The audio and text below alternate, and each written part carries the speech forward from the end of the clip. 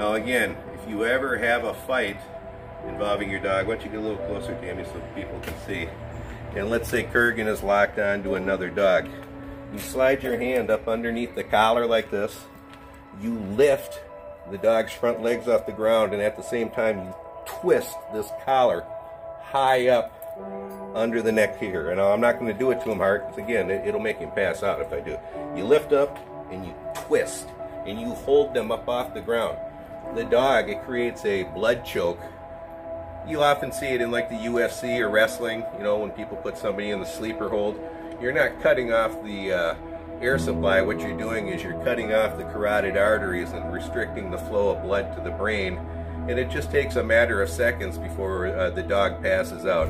Again, it's much safer than trying to stick a break stick in the dog's mouth or kicking or punching the dog and having the dog turn on you.